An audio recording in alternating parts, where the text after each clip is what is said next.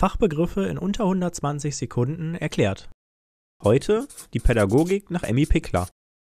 Emmy Pickler wurde am 9. Januar 1902 in Wien geboren und ist am 6. Juni 1984 in Budapest gestorben. Emmy Pickler studierte Medizin und war als Kinderärztin tätig.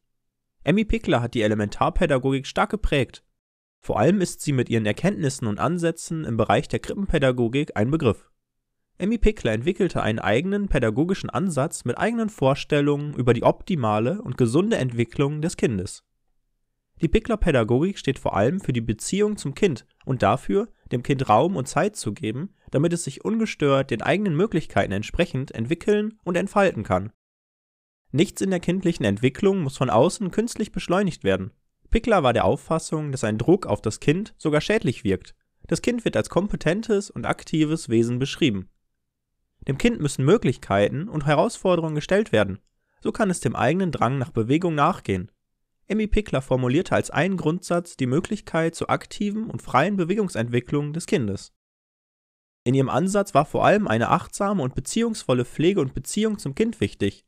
Diese dient als Fundament zur Förderung der kindlichen Entwicklung, lässt sich beispielsweise dadurch fördern, dass die erwachsene Person mit dem Kind in einem ernsthaften Dialog tritt und ihm dabei wertschätzend und achtsam begegnet. Emmy Picklers Pädagogik beinhaltet noch viel mehr Grundsätze und Gedanken. Es gibt schon ein ausführlicheres Video zum Thema auf diesem Kanal. Ich verlinke es dir in der Infokarte